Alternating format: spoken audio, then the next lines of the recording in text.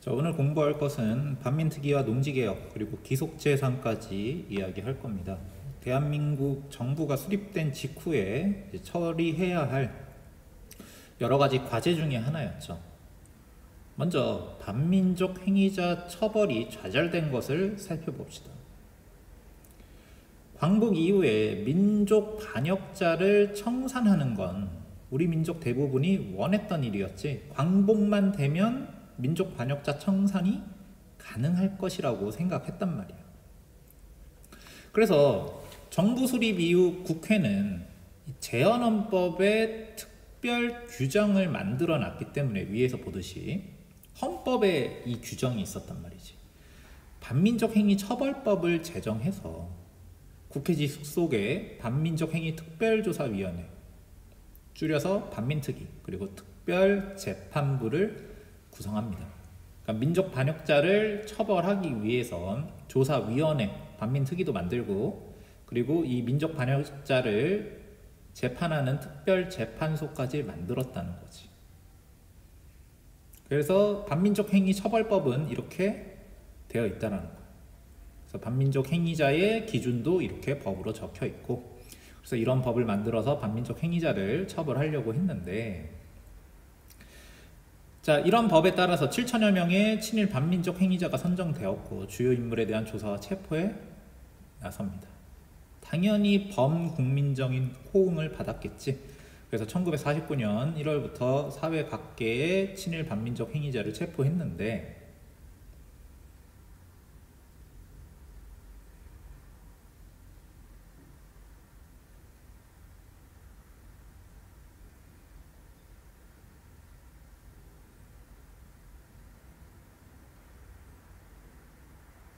자 보듯이 반민특위 행 그 행적이 좌절됐는데 왜? 대한민국의 대통령이 이 활동을 방해했기 때문이에요. 자, 대통령 이승만이 이런 얘기를 했어. 지난날에 구해되어 앞날에 장애되는 것보다는 증거가 불충분한 경우에는 관대한 편이 낫다. 그러니까 좌익 반란문자 경험이 풍부한 경찰관을 마구 잡아들여서는 안 된다는 특별 담화를 발표했어. 예전에 민족 반역자였더라도 좌익을 척결하는데 도움이 될 거니까 처벌을 하지 말라, 말아라 이런 얘기가 나온단 말이지. 그래서 여기서 말하는 좌익분 반란문자 색출 경험이 풍부한 경찰은 대표적으로 노덕술 같은 인물을 말하는데 이 인물은 일제시대 내내 어, 독립투사를 고문한 경력이 풍부한 사람이고 이 경력을 살려서 해방 이후 미군 정 기간 그리고 대한민국 정부가 수립된 이후에도 경찰로서 일을 하고 있었단 말이지. 우리가 저번에 배웠듯이 미군정은 일본의 통치기구를 그대로 유지했기 때문에 반민족 행위자 출신이 많은 경찰도 그대로 임용이 되고 경찰로서 활동이 가능했기 때문에 이런 사람들이 계속 활동을 하고 있었던 거예요. 그래서 여수순천 11구 사건 같은 일들이 벌어진 이후에 반공체제가 강화가 됐는데 이런 반공체제를 뒷받침하기 위해서는 친일 경찰 출신이라도 처벌하면 안 된다는 이런 논리였단 말이죠. 그래서 노덕술 같은 사람을 이제 고문 전문가인데 치안 기술자라고 얘기했단 말이지. 정부가 보증해서라도 풀어줘야 된다. 이거는 대통령이 실제로 국무회의에서 했던 말입니다. 근데 이 대통령이 말한 이 관대안이라는 거 혐의가 불분명하면 관대하게 처분해야 된다. 이게 모두에게 적용이 됐으면 좋았을 텐데 그렇지 않았던 거지. 그 수많은 양민 학살을 생각을 하면 그래서 그가 말한 관대한 이승만이 얘기했던 관대한이 모두에게 적용이 됐는지 이거는 우리가 생각을 해볼 해볼 만한 일이겠죠. 자, 그 다음에 반민특위 소속 국회의원들은 공산당과 내통했다는 구실로 구속이 되었고요. 그래서 이것을 소위 국회 프락치 사건이라고 불러. 그리고 반민특위 사무실을 경찰이 습격합니다. 왜 경찰이 습격했느냐? 경찰 안에는 반민족 행위자 출신들이 많았기 때문에 반민특위의 조사 활동을 방해할 목적이 있었다는 거죠. 그러니까 지금 친일파 청산을 위해서 반민특위가 만들어졌는데 대한민국 정부의 수장인 대통령이 대놓고 이것을 방해했고 반민특위 소속 국회의원들은 북한의 스파이라는 누명 아닌 누명을 씌워서 잡아들이고 그리고 반민특위 사무실은 경찰이 출동해서 습격해버리는 거지. 정부 차원에서 방해를 한 거야 이 민족 반역자 청산을. 그래서 두고두고 욕을 먹는 거지. 그래서 결국 반민특위의 활동은 유명무실하게 됩니다. 기소된 사람이 뭐 얼마 되지도 않고 뭐 치국 건수는 688건밖에 안 되고 재판이 종결된 건 41건밖에 안 되고 그래서 이런저런 이유로 처벌을 받은 사람은 결국 거의 단 한 명도 없는 거예요. 형 집행이 엄청나게 많이 됐거든. 그래서 반민특위 활동은 유명무실하게 됐고 우리나라의 수많은 민족 반역자들은 전혀 처벌을 받지 않았던 거죠. 그래서 현재까지도 친일파를 청산하지 못했다 이런 얘기가 두고두고 광복이 된 지가 도대체 몇 년인데 두고두고 이런 얘기가 나오는 거야. 혹자는 광복된 지가 언제고 시간이 얼마나 지났는데 아직도 이런 얘기를 하고 앉아 있느냐라고 얘기하는데 우리가 생각해야 될 것은 당대에 일어난 일은 당대에 해결해야 돼. 지금 당장 우리 앞에 닥친 역사적인 과제는 해결을 해야 됩니다. 안 그러고 후손한테 밀어버리면 이건 역사 속에 파묻히는 게 아니고 두고두고 남아서 골마서 사회 통합을 방해하게 된단 말이야. 지금 친일파 문제로 사회 통합이 방해가 되고 있잖아. 왜? 70년 전에 그 안일했던 혹은 의도적으로 반민족 행위자를 옹호했던 그런 일이 있었기 때문에 제대로 된 처분이 이루어지지 않았기 때문에 지금까지도 끌고 오게 되는 거죠. 자, 그 다음에 농지개혁을 봅시다. 자, 농지개혁은 이 조선 후기와 일제시대를 거치면서 지주대가 강화돼서 광복 당시 전체 경작지의 60에서 80% 이상이 소작지였어. 그리고 전체 농민들 중에서 소작농, 자소작농, 하여간 땅을 소작을 하는 사람들의 비중이 80%를 넘어간단 말이지. 그래서 이 문제를 해결해야 된단 말이야. 그래서 농사 짓는 농민이 토지를 가진다는 이것을 네 글자로 경자유전이라고 얘기하는데 이 원칙에 입각한 농지개혁 문제는 좌익, 우익 가릴 거 없이 모두가 실현해야 할 과제로 설정한 상태였어. 그러니까 지금 토지개혁을 얘기한 게 뭐 임시정부 대한민국 건국 강령에도 나오고 조선 독립동맹에서도 얘기하고 좌우합작 운동에서도 얘기하고 심지어 이승만도 과도정부 당명전책 34망이라는 정책을 내놨는데 거기서도 농지개혁 해야 된다 이런 얘기가 나온단 말이지. 그리고 대한민국 정부가 수립되기 전에 미군 정도 자신들이 접수한 일본인 소유의 농지는 유, 농민들에게 유상으로 분배하고 또는 소장료를 인하하는 식으로 이건 3일제라고 부르는데 이런 식으로 이 농지 문제를 소장 문제를 해결할 의지를 보였단 말이지. 하지만 뭐 이들은 이제 완벽하게 미군정은 완벽하게 뭔가 해놓지 않지. 왜냐하면 이후에 정부가 수립되면 처리해야 된다라고 밀어놓은 게 엄청나게 많단 말이야. 그래서 미군정이 한창 이런 일을 했을 때 당시 지주들이 반발을 많이 했기 때문에 물론 이 사진은 전혀 관계없는 사진입니다. 지주들의 반발로 본격적인 토지 개혁은 실행하지 않고 정부 수립 이후로 미뤘습니다. 그리고 우리가 저번에 배웠듯이 북한 지역 38도선 이북 지역에서는 이미 토지 개혁이 실행이 됐단 말이야. 무상몰수, 무상분배로. 1946년에 이미. 그래서 2년 뒤에 1948년에 수립된 대한민국 정부에서 토지 개혁은 피할 수 없는 과제가 되었다는 거지. 왜냐하면 북한이 이미 했는데 우리는 안 하고 있어. 그럼 안 되잖아. 그래서 농지 개혁이 전개가 됩니다.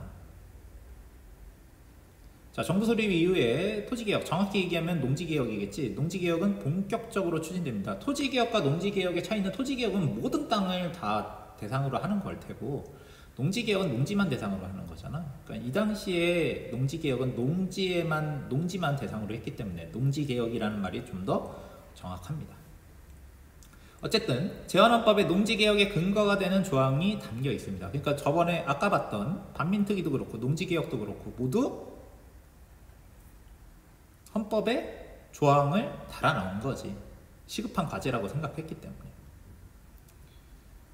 그래서 1949년 6월에 경자유전의 원칙에 따라서 농지개혁법을 제정하게 됩니다. 경자호전은 아까 얘기했듯이 농사 짓는 사람만 농지를 소유할 수 있다는 그런 원칙이지. 그래서 이 농지개혁법을 바탕으로 해서 1950년 3월에 6.25 전쟁 직전이지 이승만 정부는 한 가구당 3정보를 소유 상한으로 하고 북한은 5정보였잖아. 우리나라는 3정보란 말이지.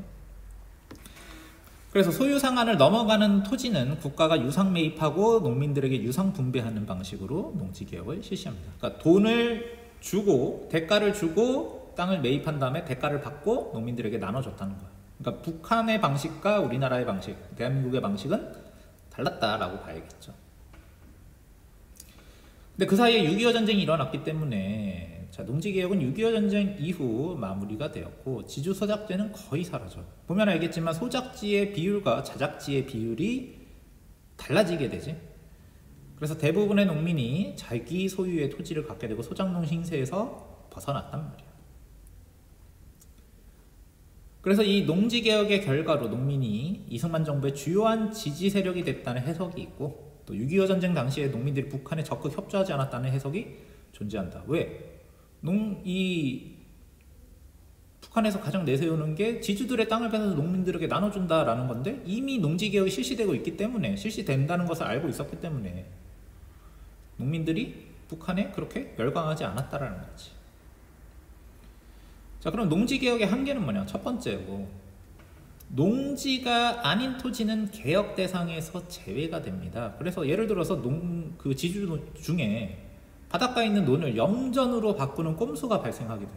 염전으로 바꿔버리면은 소작농들에게 안 줘도 되거든. 그냥 다 그냥 자기 땅이 돼버리거든. 농지, 농지개혁법이기 때문에 농지가 아니면 대상이 아니란 말이야. 또 해방이 되고 나서 몇 년 있다, 한 5년 있다가 실행이 됐기 때문에 지주가 미리 토지를 처분하기도 했단 말이지. 왜냐하면 농지개혁법으로 유상 매입 유상 분배긴 한데 그 가격이 시가에는 미치지 못했기 때문에 지주들이 미리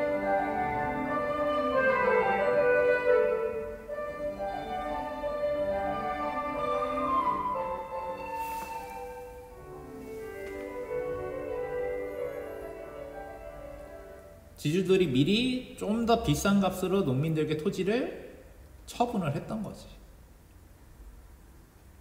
그리고 어떤 문제가 있었냐면 이 유상 분배가 경제적 부담으로 다가온 경우도 있어요. 소장료보다는 쌌는데 그래도 부담이 된 사람들이 많았단 말이야. 그래서 토지를 되팔고 다시 소장농이 되는 경우도 존재했다라는 거예요. 더큰 문제는 자, 무엇보다 유상 매수, 유상 분배, 농지 개혁의 의도가 계획대로 들어맞지 않았다는 게 최고 문제야. 어떤 의도가 있었냐면 왜 지주들에게 돈을 주고 농지를 매입해서 했느냐? 의도는 대한민국 정부가 농지를 북한처럼 몰수하지 않고 유상 매수를 했던 이유는 농지값을 받은 지주가 그 돈을 가지고 산업자본가로 전환시켜서 산업화를 하려는 의도가 있었단 말이야. 그래서 지주 소유의 토지를 매수한 다음에 근데 현금을 당장 주면은 우리나라가 당시엔 돈이 진짜 없기 때문에 부담이 크단 말이야. 그래서 지가증권이라는 거죠. 이걸 주면 이거를 주고 이제 나눠서 지주들에게 땅값을 줬단 말이지. 지가증권은 일종의 증명 서류인 거고. 그래서 지주들은 일단 당장 땅값을 받지는 않고 지가증권을 받고 뭐 일정 기간 동안 정부에게 돈을 대가를 받아야 되는데 문제는 6.25 전쟁으로 인해서 지가증권의 가치가 바닥을 쳤단 말이야. 왜냐면 지금 현재 지주들이 많이 살고 있는 경기 충청 전라도는 전라도는 인민군이 점령해서 되찾을지 안 되찾을지도 몰라. 그리고 지가증권의 가치라는 거는 대한민국 정부가 보증을 하는데 전쟁에서 대한민국이 이긴다는 보장도 없잖아. 만약에 대한민국 정부가 졌어. 정부가 사라져. 그러면 지가증권은 완전 휴지 쪼가리가 되는 거지. 그리고 당시 전쟁 중에 먹을 식량이 없었기 때문에 지가증권이라도 싼 값에 팔아서 입에 풀칠이라도 해야 되기 때문에 헐값에 파는 경우가 워낙 많았단 말이지. 그래서 결국 중소지주 대다수는 산업 자본가로 전환되지 못하고 몰락하게 됐다라는 거예요. 그러니까 이게 농지 개혁을 해서 그 농지값을 받은 지주들이 지주에서 산업 자본가로 전환을 시켜서 경제 발전을 의도를 했는데 그 의도처럼 되지 않았다는 게 농지 개혁의 큰 한계점이었다는 거지. 그다음에 기속 재산의 처분을 봅시다. 기속 재산이라는 건 뭐냐? 다른 이름으로 적산이라고도 부르는데 미군 정의 접수한 일본인 소유의 재산을 말합니다. 재산엔 여러 가지 종류가 있을 수 있겠지. 뭐 시설, 건물, 논밭, 공장 이런 것들이 다 포함이 되는데 일본인 소유였던 거 그런 것들은 다 기속 재산이라고 얘기할 수 있어요. 일본 애들이 이걸 못 가져가잖아. 그지? 현금만 가져갈 수 있었단 말이에요. 일본인들 우리나라에서 나가면서. 그래서 미군정이 관리하던 기속재산은 정부 수립 이후에 이승만 정부에 이관돼서 이승만 정부는 이 기속재산 처리법을 만들었어. 그래서 기속재산의 불화가격은 시가의 4, 4분의 1에서 5분의 1 정도였고 상한기간은 15년까지였단 말이죠. 일본인들이 우리나라에 세웠던 공장, 가지고 있었던 논밭, 시설 이런 것들이 다 싼 값에 불화가 됐단 말이야. 그래서 이게 원래 본래 가격보다도 훨씬 싸고 그리고 그 싼 가격을 15년 동안 분할해서 상환할 수 있었기 때문에 이거를 사는 입장에선 굉장히 유리한 거래란 말이지. 그래서 이 거래를 성공시킨 사람들은 나중에 우리나라에 손꼽히는 재벌이 형성되는 배경이 됐단 말이야. 이게 일종의 어떻게 보면 특혜라고도 볼 수 있단 말이지. 물론 이 기회를 잘 살린 건 그 사람들의 능력이지만. 맨땅에 한 건 아니란 말이에요. 그래서 대표적으로 뭐 오비 맥주 같은 경우에는 우리나라에 있었던 소화기림 맥주 공장을 불화받아서 맥주 오비 맥주가 됐고 성경진물이라는 공장이 직원이던 최종건에게 불화돼서 SK그룹, 뭐 낙하화재가가 해태제가가 되고 조선 화약공파는 하나그룹이 되고 뭐 이거 이외에도 많은 그룹 그 재벌들이 거슬러 올라가면 기속 재산을 받아서 재산을 늘려서 어, 발전했던 경우가 많단 말이야. 이게 뭐 욕을 먹을 일이 아니고 어쨌든 그 재벌들에게 그런 기회가 됐다라는 거죠. 또 한편으로 생각할 것은 뭐 욕을 먹을 일은 아니지만 그들이 자기 자신의 온전한 능력으로 처음부터 시작한 건 또 아니다. 뭔가 유리한 기회가 있었다. 이런 것도 생각해 볼 만한 거겠지. 여기까지 하겠습니다.